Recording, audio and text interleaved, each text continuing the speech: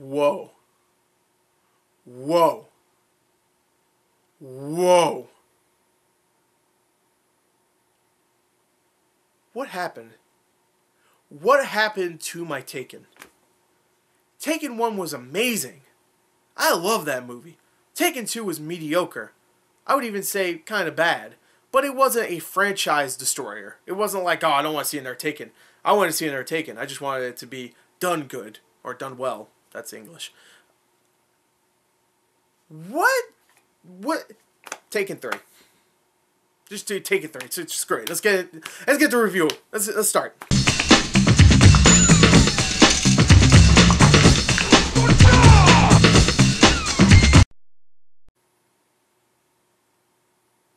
This year is going to be a great year for film. You got a new Star Wars, you got a new Jurassic Park, a new Avengers, Ant Man, bunch of other awesome looking films like Kingsman, which I heard is great. Uh, just some really awesome looking movies. The Revenant, that looks great. I can't wait for some of these films. What? What happened to my Taken? I already said. What happened? This movie is not only bad, but it is a crime that this movie exists because Taken One is a fantastic movie. I, I don't care. It's a fantastic film. I love it. It's one of my favorite action films. It is a legitimately good action film. Taken Two, like I said, mediocre. This movie, it's not just bad. no. It insults the intelligence of everybody watching it. It's like the director and everybody else was just like, you know what? Screw it people watch Taken 2. That was a crap movie. We know. We didn't even try. We're just like, hey, Taken 1 makes so much money. Let's make Taken 2. Oh, put effort in it? Pfft, fuck that. Let's just fucking make a movie where it's just ridiculous, doesn't matter, and let's just shove it out there. And oh, it made 50 something million dollars in the first weekend. Oh, man, it made 140 million dollars overall. Oh, man, it made 350 million dollars worldwide. Let's make another one and put no effort in it whatsoever. Not not even a little bit. Taken two, there wasn't that much effort. There wasn't that much effort. This one, none, none at all. Not even an ounce. Nothing. Not even Liam Neeson could make me kind of like some of this movie. The only parts in this film that I like are the emotions between Maggie Grace and Liam Neeson. When they are together, you feel like they are father and daughter. If you like Maggie Grace, that's up to you. Me, I found her tolerable. I thought she was fine in this one. I thought she was fine in the last one. I thought she was fine in all three of them. I don't, I don't care. I felt that father and daughter relationship. And I felt when the big thing happens when the mom gets killed, not spoiler, it's in the trailer, it's in the premise, it's a, it's everywhere. It's the whole premise of the movie.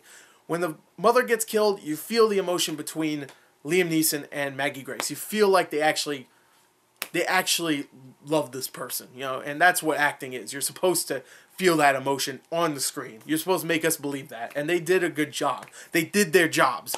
That's pretty much the only positive I have. They did what they were supposed to do. That's not really positive. That's just like, hey, you did what you did. Here you go. Here's a paycheck. Now get on my face until Taken 4, which most likely will come out in two months, seeing that they didn't put any time in this film. And of course, it made money. It made a lot of money. Okay, I didn't explain what's so bad about this film. I'll just, I'll say one person's name, and if you have seen any of this other person's movies, you will know why this is bad. Olivier Megaton. Olivier Megaton, if you do not know, he's the director of Taken 2. He did so well with that. Colombiana, which I don't think anybody saw. I did. It was crap. And Transporter 3. Now, what did all these movies have in common? I'll tell you, it had piss poor action cinematography. When it was filmed during the action, it is edited to shit. We know Jason Statham could do action. We know. We saw freaking Transporter 1 and 2. He can do action. Hell, even Zoe Saldana, we saw in Guardians of the Galaxy, can do action too. Liam Neeson in the first movie. I know it's I know he's older now, but Liam Neeson when he did the first movie, he was 55. You can't or 56 or whatever. You can't tell me that only after a few years he can't do a single punch without having to edit around it to make it look like he actually punched someone. That's what they do in this film. Whenever he's about to punch someone, it'll cut and it'll go on to the other side so you can see the punch this way and it'll cut again so you can see him doing this. It's it's hard to explain, but when you see it and you pay attention, it is so shittily edited, so terribly paced, and so awfully directed that you cannot believe someone didn't just put this on DVD. Like, it's not even DVD. Well, okay, it's DVD quality, but it's nothing more. This movie, when it got to the action, it was awful. But then it insults your intelligence by making this man, who we've come to know as a badass, Bryan Mills, Liam Neeson's character, who is still good in the film. I mean, his his chemistry with all the other people couldn't save this movie from being shitty, but we know he, him as badass, especially from Taken One. We don't need you to prove that he's a badass anymore. He just needs to go through the motions and, you know, if someone's trying to take his life, you know, end it. There you go. You don't need to prove he's a badass by having him almost so close to death and then, oh, the next scene he's perfectly fine because he's so badass and without a scratch on his body, even though he's 60 years old. okay. There's three scenes in particular. I'm going to spoil them. I don't care. There's one scene where he drives a car and it's ridiculous. It's so stupid. He drives his car into a building and drops his car with him inside it into an elevator shaft all the way to the bottom. And he's in the car. There's no way for him to escape. There's no doors to open or whatever. There might be another like elevator door thing you pry open maybe, but he is in the car he's in the car and he's and he's actually like going Ugh, like he's actually in pain. Like he's like Ugh, and he's trying to like get out but he's like in pain because he just freaking threw himself down an elevator shaft in a freaking car. Like at least four stories but okay. So the next scene you don't see him get out of the car and leave. The next scene the car explodes. I don't know why. Actually they i think they did show that spark hit the gasoline. So okay that that they, they explained that i think but the car explodes, blows up like half the building, and the next scene, literally, they cut to Liam Neeson walking out on a cell phone talking to Forest Whitaker's character saying, Yeah, you now you know how badass I am. No, we don't. You just jump cutted to him being okay. You didn't show him be a badass. You didn't even show him like after him saying he's a badass, like him escaping. You didn't even see him like use a a thumbtack to get out, like MacGyver or something. No, he's he's fine. It doesn't matter. There's another scene where he his car flips over down a hill and then the car explodes for no reason. That one doesn't make any sense. There's no gas leak or whatever. It just explodes when it hits the bottom of the hill.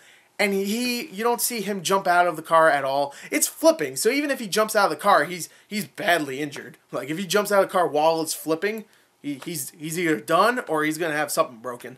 But it doesn't show him jumping out of the car, but the next scene is him. He's perfectly fine.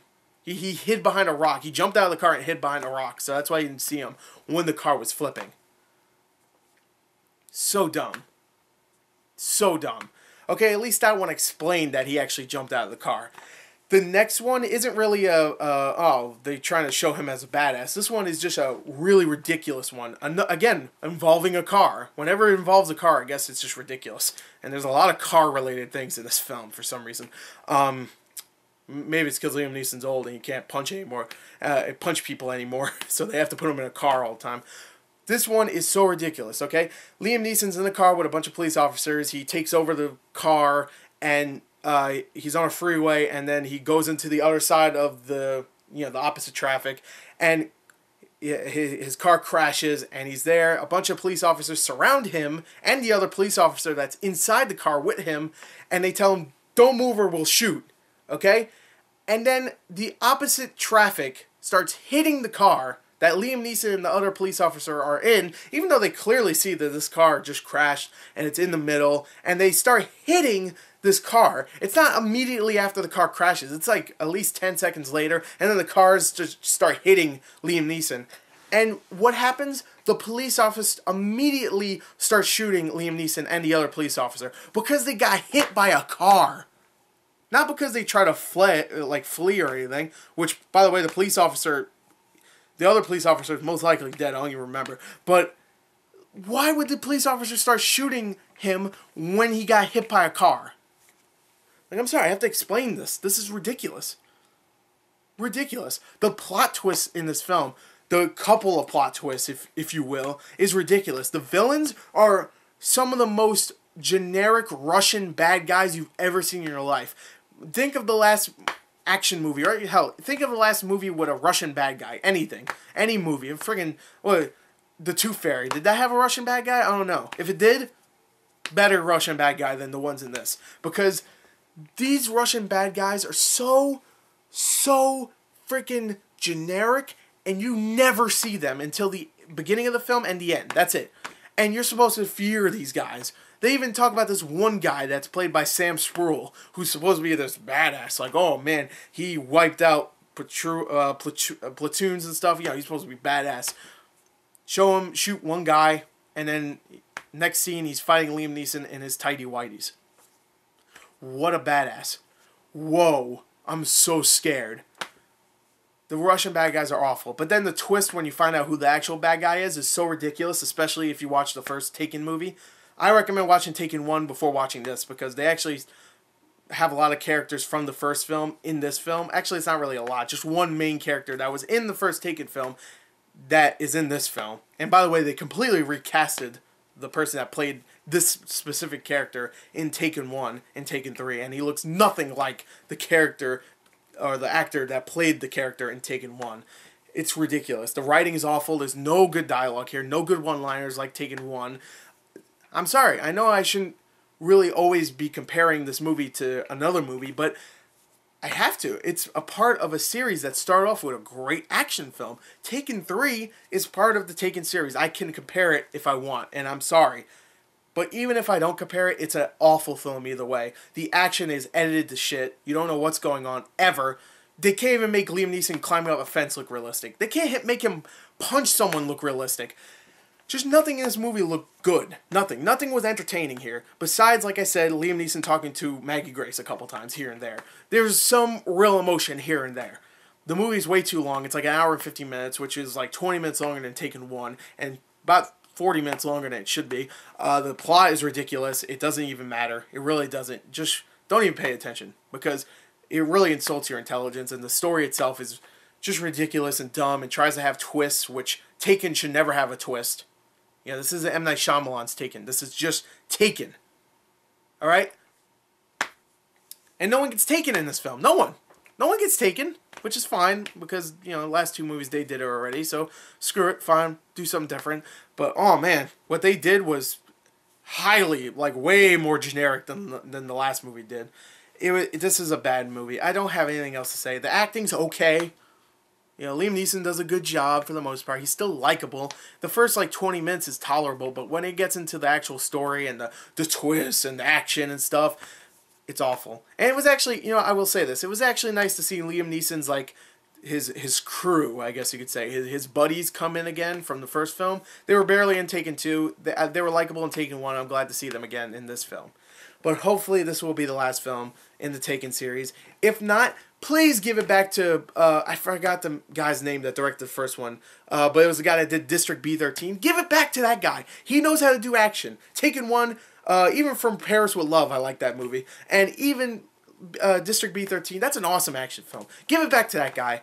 Do not give it to this guy. This guy does not know how to direct films, and I hate Olivier Megaton. He's awful, awful director. I hate this film. I really do. Dialogue, action, freaking story, everything in this film is absolute trash. I absolutely hate this film. It's one of the worst films I've seen in the last couple years. Easily the worst action movie I've seen in a very long time. Yes, even worse than Transformers. I'm giving this a 4 out of a 40. Wow. You gotta be kidding me. Are you serious? You. I'm done. This movie series is done. Okay? I hope they do make another one. Just make it better. I hope. Give it back to the guy that did the first film. Don't get this guy to do it again. I'm done. This movie sucked. If you see it and you like it, I don't know. I don't know. I don't know what to do for you, man. This movie sucked. So anyway, there you go. I hope you enjoyed the review. I hope you don't enjoy the film. Uh, more movie reviews to come. 2015, yay!